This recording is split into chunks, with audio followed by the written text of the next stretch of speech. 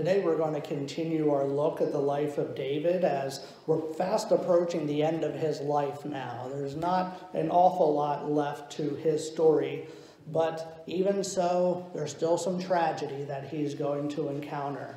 So when we left off last, David was fleeing from his own son Absalom, who wanted to take the throne uh, from him. Uh, Absalom ended up taking some bad advice that was intentionally planted by a man who was supportive of David and his cause. And rather than attack David when he was weak and on the run, Absalom decided to marshal together a big army of followers to sort of puff up his ego and uh, take down David that way. And I'll let the cat out of the bag from the beginning that uh, we're going to look at 2 Samuel 18, and Absalom does not survive to the end of this chapter. But the shame of it is that Absalom's death could have easily been avoided if he would have been content to live under the rule of David, his father, who was also his king. And the thing is, Absalom was a male in line of succession to the royal throne, so it follows that one day he could have possibly been king, but he wanted it now. He didn't want to wait, and the rest is history. The fact that his death could have been avoided is just one of several points of tragedy in this story. Uh, another tragic part is just from David's perspective, how he loses his son in battle. And no, uh, no parent should ever live to see the death of their child. There's all too many instances in the world of parents outliving their children. Uh, I can tell you just a few years ago, a close friend of mine lost uh, his two-year-old son uh, unexpectedly. Uh, it was by far the most difficult funeral service I had ever been a part of. Uh, thankfully for me, I didn't actually officiate the whole thing. I was simply asked to help, and that was uh, difficult enough. But whenever I do funerals, I am remind I remind the people how unnatural it is for anybody to die, which is an odd thing to say because everybody dies, yet it is still unnatural. God didn't intend it to be that way. Uh, and it is even less natural, if that's such a possible thing, to outlive your descendants. Now, that's the sad uh, truth, but then there are also times in the world where people just die unnecessarily. Uh, sometimes, uh, to be completely honest, people do stupid things and it costs them their lives. And I was reading through some stories about bizarre things that have happened where people just were doing strange things and sadly they ended up losing their lives. It's sort of an uncomfortable tension because in a sense it's sort of funny that why would a person decide to do this thing and then, you know, they're actually dead by the end of it. Uh, just one of many examples. Back in 1912, this actually happened. An Austrian tailor, an inventor named Franz Reichelt, uh, was committed to creating a jacket, a garment-like jacket that a person could put on and wear that would soften their descent to earth. Uh, sort of like a parachute, basically, uh, but from a less of a distance, you know, you don't have time to deploy an actual parachute. So on February 4th, 1912, he got permission from the French authorities. He climbed 187 feet up the Eiffel Tower to test his jacket slash parachute. Prior to this, he had run some successful experiments, throwing dummies out uh, fifth floor apartment window. It seemed to work well. He said, well, the next step is to try it on a person. And I'll try it on myself. I guess he didn't get any volunteers for that. So sadly, the parachute jacket, whatever you call it, did not deploy. He fell 19 stories to his death. It's just something that could have been avoided had he not jumped. Uh, certainly was a gruesome sight for those who turned out to watch at the Eiffel Tower that day. There were uh, witnesses. Uh, but uh, in the Bible passage today, uh, we'll read of another gruesome end to a, the life of this person named Absalom, who was David's son. Uh, there's a lot of details in this passage, so I want to really uh, focus our attention and um, uh, speak specifically to the issue at hand. Uh, we'll begin in 2 Samuel 18, uh, verse 4, um, but I want to sort of break it up into three shorter sections, so uh, it would there's just a lot of details in there that I want to cut through. So I just want to start by reading from verse 4 through 9. If you follow in your Pew Bible, it starts on page 228. So beginning in verse 4, uh, so the king stood beside the gate while all the men marched out in units of hundreds and of thousands. The king commanded Joab, Abishai, and Ittai, Be gentle with the young man Absalom uh, for my sake and all the troops heard the king giving orders concerning Absalom to each of the commanders. The army marched into the field to fight Israel, and the battle took place in the forest of Ephraim. There the army of Israel was defeated by David's men, and the casualties that day were great 20,000 men. The battle spread out over the whole countryside, and the forest claimed more lives that day than the sword. Now Absalom happened to meet David's men. He was riding his mule, and as the mule went under the thick branches of a large oak, Absalom's head got caught in the tree. He was left hanging in midair while the mule he was riding kept on going.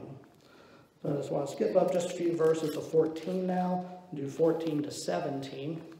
Joab said, I'm not going to wait like this for you. So he took three javelins in his hand and plunged them into Absalom's heart while Absalom was still alive in the oak tree. And ten of Joab's armor bearers surrounded Absalom, struck him, and killed him. Then Joab sounded the trumpet, and the troops stopped pursuing Israel, for Joab halted them. They took Absalom, threw him into a big pit in the forest, and piled up a large heap of rocks over him. Meanwhile, all the Israelites fled to their homes. During his lifetime, actually, we'll stop there and just uh, move up to 30, verse 31, and then we'll go to 19.4. So in 31 now, then the Cushite arrived and said, My lord the king, hear the good news. The Lord has delivered you today from all those who rose up against you. The king asked the Cushite, Is the young man Absalom safe? The Cushite replied, May the enemies of my lord the king and all who rise up and harm up to harm you be like that young man. The king was shaken. He went up to the room over the gateway and wept. As he went, he said, Oh, my son Absalom, my son, my son Absalom, if only I had died instead of you. Oh, Absalom, my son, my son. Joab was told, The king is weeping and mourning for Absalom. And for the whole army, the victory that day was turned into mourning, because on that day the troops heard it said, The king is grieving for his son. The men stole into the city that day as men steal in who are ashamed when they flee from battle. The king covered his face and cried aloud, O my son Absalom, O Absalom, my son, my son. And we'll stop it there. We pray the Lord's blessing on the reading and the hearing of his holy word. I find there's a lot of interesting facts and ways that we could apply these stories of the Old Testament to our modern day lives, even though this scene probably took place about some 3,000 years ago. And as I research, I often go back to see what the old Jewish rabbis have said because they've been analyzing these stories for more than 2,000 years. By the time it was written down, maybe even 2,500 years ago. And when we read those Jewish commentaries, we need to realize that Orthodox uh, Judaism doesn't accept Jesus as the Messiah. So if they find anything relevant or uh, complementary to Jesus, uh, they pretty much aren't going to include it there because it doesn't, you know, follow with their agenda. Uh, so, as New Testament Christians, though, we are looking back on these events with through the lens that Jesus has come, and we can make uh, some uh, connections there, because we know that Jesus was the fulfillment of the whole Old Testament, and so we can see pictures of Jesus in some of these characters as well. And just the other week is sort of the way that we related the traitor Ahithophel to the traitor Judas. And today we'll make some even some more connections. Uh, the problem when you get into analyzing some of these Old Testament characters is it can be a little confusing at times. Uh, take David, for instance. Sometimes he looks like a really good person and sometimes a really bad person. So, in some sense, he's like a repentant sinner. Other times, he's a picture of Jesus. Again, it can't be both, it's just sort of a symbol. And we have to keep in our mind that these are just symbols when we are talking in this sense. Um, in this chapter, David represents Jesus, though, uh, while his earthly son Absalom re represents your normal, run of the mill, unrepentant sinner. And what we have here is that Absalom is making an effort to overthrow his king, who is also his father, and that's David. So, since David represents Jesus, look at how the battle is fought. David doesn't fight directly against Absalom, though, uh, just as Jesus doesn't take on sinners in a direct battle. If he did so, it would be a very quick battle indeed, because no one could stand up to Jesus even for a second. Uh, despite the efforts made to overthrow him, David still loves his child. And in the same way, God loves us, even though there are times in our lives before we came to Christ in faith that we opposed uh, God.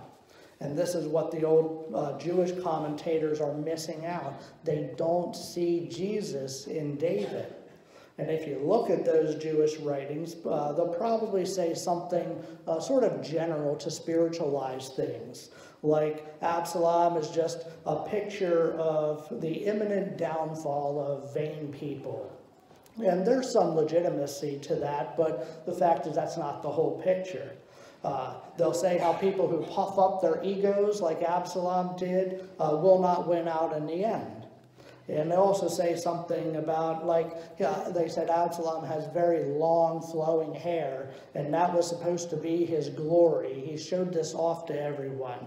And that was his downfall because his long flowing hair got his head caught in an oak tree, which is a very odd way for a person to die. Uh, we encounter that every now and then in the Bible. Therefore, we should be careful what we wish for. He wanted this long hair, and it's, again, what was his down, ended up being his downfall in the end.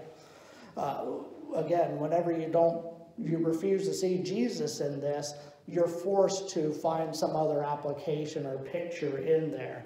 But it means so much more than that.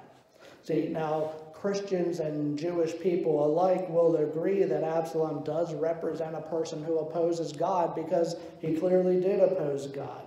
These individuals sometimes exhibit a great deal of pride in the fact uh, they don't humble themselves before God. Uh, the Bible tells us Absalom was an especially handsome man, like his father David, and therefore his hair at the time sort of was a reflection of that. And of course, that's what uh, spelled his doom in the end. Uh, but as Christian believers, believers in the New Testament, we have much more than that to hang our hats on. As far as Christians are concerned, it's possible that this actually could be, there could be a fulfillment of this in the future when you go to the, uh, maybe it's a picture of this fulfillment in the book of Revelation. And what I mean there is there's an odd verse in our uh, passage we read this morning that said how the forest swallowed up more men that day than the sword. And you wonder, what in the world, what kind of a forest is this, you know? We're left scratching our heads, wondering how this can be taken seriously. And this is a place where the Jewish commentators can help us. They largely agree that forest of the day, probably in that area, had caves and swamps and various pits that would easily trap men who weren't familiar with the area. So it's not all that strange to say that the forest swallowed up these men. And once that's clarified, I find it interesting that more men died that way than were actually killed with the sword by David's army. So the verse shows us that God's hand was on this one way or the other. And what I mean by that is God allowed all these events to happen, which resulted in those who opposed him to enter this forest where they would ultimately meet their demise. And not only that, God ended up protecting David's army uh, from that same fate. And it's a this here though is the message for all of us here. And I would assume there's many times in our lives where God fights battles for us. We have no idea what he's doing at the time. And we only see it after the fact that yeah, God was working that out all along our point of view is just so limited. And I keep coming back to this theme as we look at the life of David because it keeps popping up. And it should make us uh, perk up and take notice to this. That our point of view is just so limited. We have no idea what's even being prevented uh, or from us because it's outside of our frame of reference. And if we knew that, I think it would only serve to deepen our appreciation of God and His love for us. Now, so far we made connections uh, between Absalom to the unrepentant sinner, and it follows that those who followed Absalom in the battle were similarly unrepentant like he was, since they were swallowed up by the earth, as we just explored. This swallowing up of people wasn't the only similar instance in the Bible. Um, Christians who read the Bible know that uh, it's not the last time this is actually going to happen, interestingly. Uh, again, I briefly mentioned like a minute ago, if you go to the book of Revelation, uh, which we, we know we aren't always 100% sure how to interpret it with the symbols and that kind of thing, uh, whether it's literal or figurative. But uh, what I do is just I look at it and I see what makes the most sense, basically. So if you would uh, go to Revelation 12 and just uh, at verse 15 and 16, it says, Then from his mouth the serpent spewed water like a river to overtake the woman and sweep her away with the torrent. But the earth helped the woman by opening its mouth and swallowing the river that the dragon had spewed out of his mouth. Now, without getting into a long discussion about what these two verses completely mean, uh, it just seems pretty obvious that the river is not a literal river. Uh, and again, if you uh, go into the original language, it probably is like a large army, maybe. You could say there was a river of men. You know, we know that's not a literal in a sense, but probably a large army because the text tells you that they're working up towards a battle at that time. And the fact that the, the earth helps the woman, who's also figurative, not prob- probably not just one woman, seems to suggest some kind of supernatural power uh, of protection going on. Quite possibly could be a literal opening of the ground. Uh, we don't really know. If so, it wouldn't be the first time that happened. So when people try to throw that out as, oh, that, that's just uh, impossible, well, 2 Samuel 18 into 19 shows us that it happened at least once. Now, regardless of all that, the fact is that the story is telling us those who oppose God in the end will pay for it if they do not change their ways in the time that they have. And that leads to the point which concerns how God feels when people reject him. And that this here is really the crux of the message this morning. In this chapter, we have what I think is one of the most heart wrenching scenes in the Bible where David mourns the death of his son. Verse 33, it says, The king was shaken and when it says shaken, this is the idea of a literal physical trembling of a person. That's the kind of sorrow he felt. And when it's, then it says he went up to the room over the gateway and wept. And he said, Oh, my son Absalom, my son, my son Absalom, if only I had died instead of you. Oh, Absalom, my son, my son. Notice the repetition in there, and that's not just because he's stuttering or anything like that. Uh, then it says, The king covered his face and cried aloud, Oh, my son Absalom, oh, my son, my son. Well, in the culture and language, they did that for a reason and for a purpose, and that was when you repeated a person's name, it was a way to show them affection and how much you love them. Uh, so David does that here by repeating his name so often my son, my son. And that's not an isolated incident in the Bible either. It happens a handful of times. I won't mention them all to you. I think we talked about this in a Bible study uh, a while ago. But you may recall um, Abraham back in Genesis. He goes up to on the mountain to sacrifice Isaac, and as he lifts the knife up to plunge it into Isaac's chest, God calls out and he says, Abraham, Abraham. It's a way of saying, I love you, Abraham, don't do this. And then you go to uh, the book of Acts, for instance, and you have this Jewish man breathing threats against the new Christian church. And he stopped in his tracks on the road to Damascus, and Jesus calls out to him, Saul, Saul, why are you persecuting me? He's saying, I love you, stop what you're doing. And in both situations, again, it's, it's intentional. Um, here's something else now in your spare time this week. I know we skipped some parts here, again, in the interest of time and also not to get bogged down in the details, but if you go back and you read 2 Samuel 18, then go to the New Testament and find the story of the prodigal son. Uh, compare David to the father of the prodigal. Uh, one experience what it's like to have a child return to you while the other experience what it's like when a child rejects you all the way to the grave. The prodigal son shows us that we can humble ourselves and we can return, while Absalom shows us what can happen if we refuse to humble ourselves and if we allow hatred to rule our lives. Absalom's body, in the end, was thrown into a pit without a proper burial, and a pit is really a, uh, a picture or a reminder of the eternal hell that he experienced.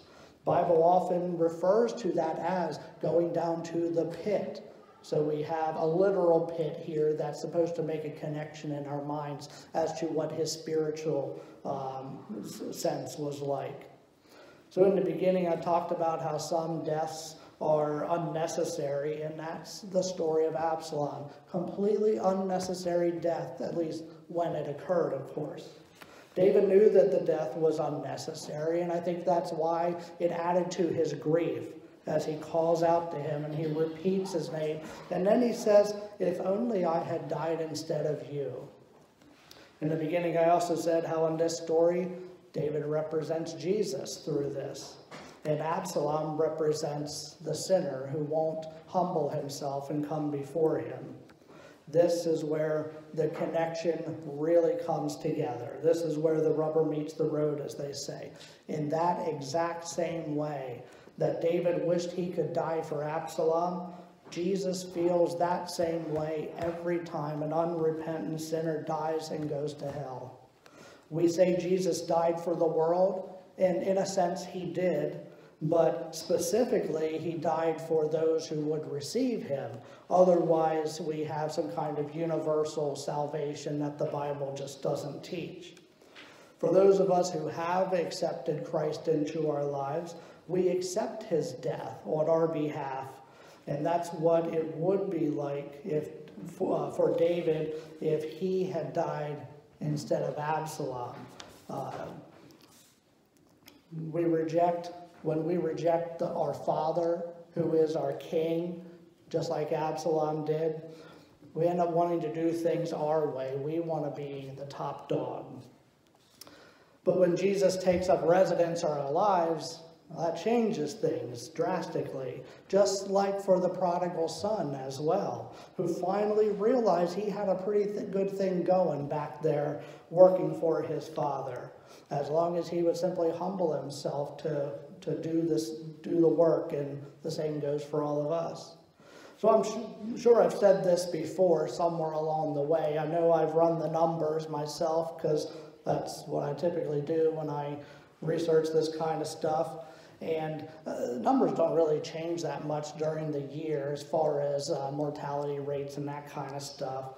But did you know that based on estimates, and these are conservative estimates too, 110,000 people today, if this is a normal day, are going to go into eternity without knowing Jesus as our Lord and Savior. And we know the Bible teaches us where they're going to end up. And these are just those who admit that they don't follow Christ. The number is probably higher than that because we know there's always going to be some people who say they are a true believer and really not, but uh, that just complicates things. What 110,000 is that a lot? Well, they just said college football is going to be starting up. Penn State's going to be playing in a month or two. I'm not even sure when you see the games on TV up at Beaver Stadium and they have like their whiteouts and you got a stadium filled up in Happy Valley, I think that stadium holds somewhere between 106 and 108,000 people. So it's more than that one day going into eternity without knowing Christ. I estimate, based on how long I'm going here, that from the time I began preaching this message, more than 1,500 people died and went to hell. That means that uh, every time for those 1,500 people, Jesus echoes the words of David If only I had died instead of you. In other words, he says, I would have died for you, but you just didn't allow me to. You didn't accept my sacrifice for you. So I just want to leave you with the reminder, of the reality of this. We, we know it, but do we really know it, you know? That each of us faces an eternal destination, and it is my deep hope that everyone here is saved. And if it is your time to be up, you know where you're going. Since we are aware of the realities that await those who haven't put our faith in Jesus, it should be the natural response with the Holy Spirit inside of us to do everything in our power to urge other people to follow suit as we have and to make the same decision to follow Christ as we have. And that's even if it's only through what the Bible calls the foolishness of preaching, too. And I know that numbers are difficult to follow, especially when someone's talking like this in a message. So just think of it this way. If you remember one thing, the reality, those who enter uh, eternity without Christ, more than one per second. Like 1.1 or 1.2. It's like 76 a minute. You could get a calculator out and figure that out. These are people who rejected the sacrifice that Christ made. He already paid the price, but they didn't accept it. They simply chose not to accept it, and instead they said, I'm willing to stand before a holy God based on the things I have done, which isn't good enough and, and you're paying that price for eternity. And it is my deep uh, hope and prayer that that would not be the case with any of us here. Let's now close out with a word of prayer.